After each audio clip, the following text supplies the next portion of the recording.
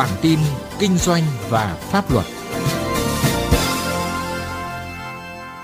Xin kính chào quý vị và các bạn. Quý vị và các bạn đang theo dõi chương trình Kinh doanh và pháp luật được thực hiện trong khuôn khổ chương trình hỗ trợ pháp lý liên ngành cho doanh nghiệp nhỏ và vừa giai đoạn 2021-2025 do Bộ Tư pháp chủ trì, Đài Tiếng nói Việt Nam và công ty Alo Media phối hợp thực hiện.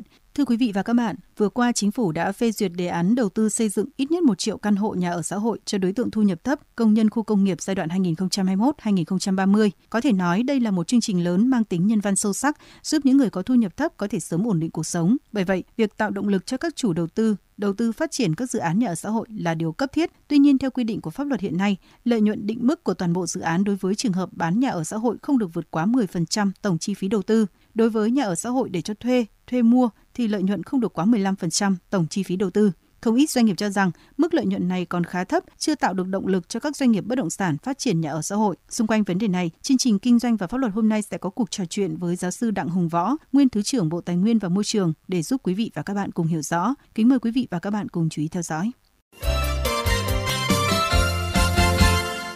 Vâng, xin chào giáo sư Đặng Hùng Võ. Thưa ông, ông có đánh giá như thế nào về định mức lợi nhuận theo quy định của pháp luật hiện nay dành cho các dự án nhà ở xã hội ạ? Sự thực mà nói không phải chỉ chuyện định mức lợi nhuận mà còn rất nhiều chuyện khác thể hiện cái tư duy tiếp cận nhà ở xã hội ở Việt Nam là tư duy bao cấp.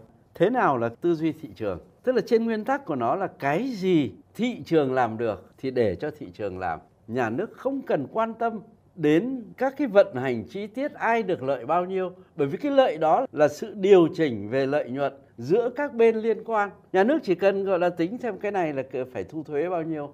Thì đấy là lợi ích của nhà nước. Thế rồi cái nào là cái vi phạm pháp luật thì đi kiểm soát xem là ai là đang vi phạm pháp luật. Cái gì thị trường làm được thì để cho thị trường làm. Nhà nước chỉ làm những cái gì mà thị trường không làm thì tôi cho rằng đấy là cách tiếp cận thị trường. Thành ra là nếu mà từ cách tiếp cận thị trường thì chúng ta có cần quan tâm đến doanh nghiệp được 10% hay 15% đâu. Bao nhiêu cũng được. Miễn là mục tiêu của chính sách đặt ra nó phải đạt. Người mua thì họ mua nếu mà họ thấy có lợi thì họ quyết định mua.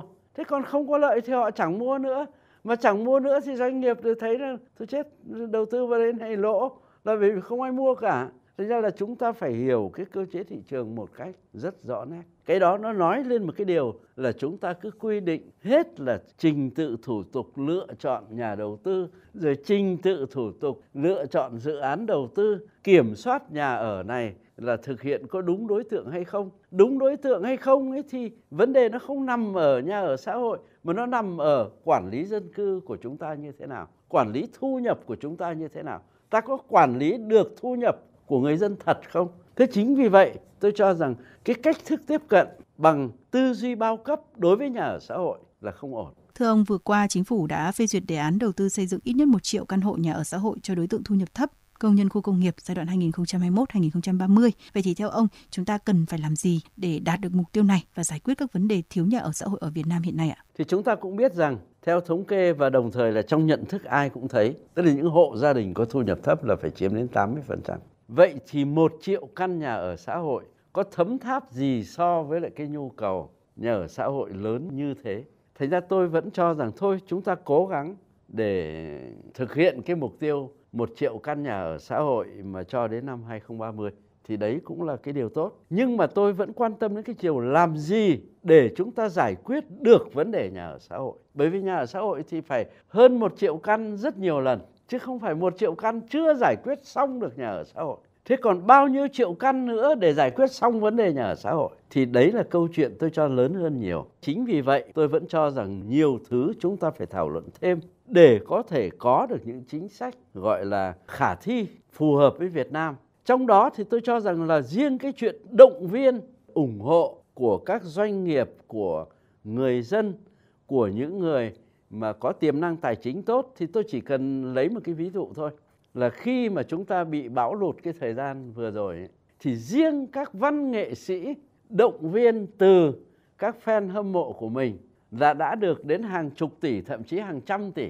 Thế thì nếu mà động viên cho nhà ở xã hội mà với cái sức động viên như thế chúng ta có làm được không? Tôi cho rằng thừa sức làm được. Vâng xin được cảm ơn ông. Chương trình Kinh doanh và Pháp luật xin được trân trọng cảm ơn Bộ Tư pháp, Ban Quản lý chương trình hỗ trợ pháp lý liên ngành cho doanh nghiệp nhỏ và vừa giai đoạn 2021-2025 đã hỗ trợ thực hiện Mọi thông tin chi tiết và liên hệ, quý vị vui lòng truy cập website www.kinh doanh và pháp luật.com. Cảm ơn sự quan tâm theo dõi của quý vị.